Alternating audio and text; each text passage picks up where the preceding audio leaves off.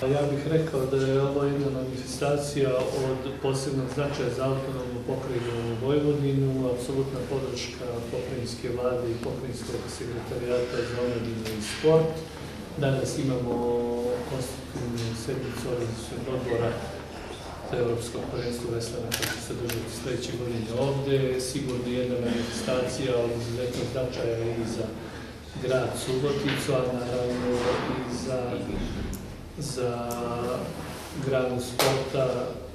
koja ima jako dugu tradiciju i naravno da ćemo danas okupiti sve najkvalitetnije ljude, da formiramo sve organe koji su potrebni da bi došli što spremni do realizacije kompletnog evropskog prvenstva koje nas očekuje sledeće godine. Naravno, ničega ovoga ne bi bilo da da naš Univerzitetski sportski savez Srbije nije dobio organizaciju ovog takmičenja i donio praktično ovde na Pavliću grad Suboticu, tako da veliku zahvalnost dugujemo njima naravno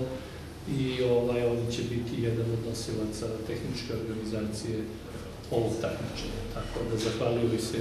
našem domaćinu i gradonačenu, gospodinu Labanu i gospodinu Simoviću što su ovaj danas sastanku priličili ovde i ovaj, siguran sam da ćemo imati jednu jako dobru i kvalitetnu manifestaciju sledeće godine ovde na Paliću. Ja mislim da je ovo izuzetno čast da mi organizujemo ovaj šampionat u Srbiji veslanje od najrazvijenijih univerzitetskih sportova.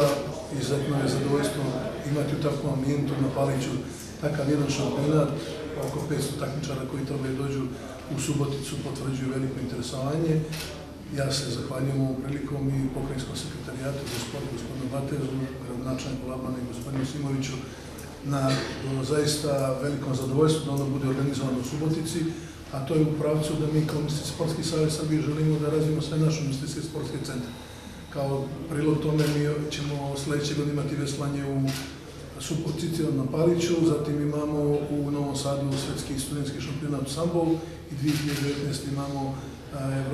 evropsko prvenstvo odbojici u Zrenjaninu. Tako da nama je Vojvodina izuzetno važna kao ministar sportskom savjezu Srbije i ovo što radimo se uklapa u našu strategiju koju smo do 2020. godine uradili, a sam Palić kao jedna izuzetna turistička destinacija, nadamo se da će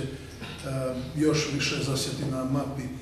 turističkoj mislim da ovaj potencijal koji ima Palić treba da iskoristimo na najbolji način da je promovišemo, kao i da naše studente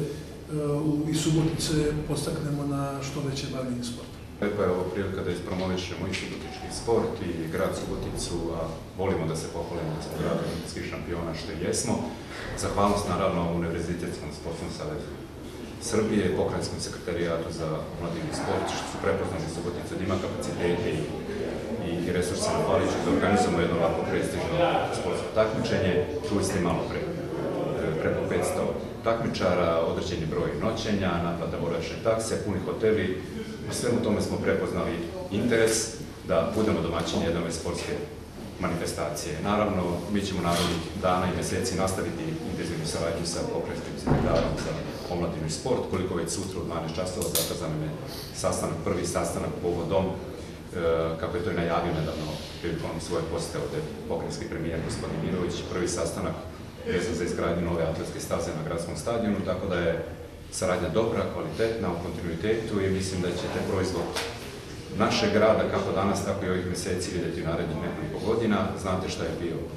naš cilj i naša želja, to je da se pokrije gradsko klizalište, da se izgradi atletska staza, da završimo poslove radove na izgradnji reflektora na gradskom stadionu koji su u toku,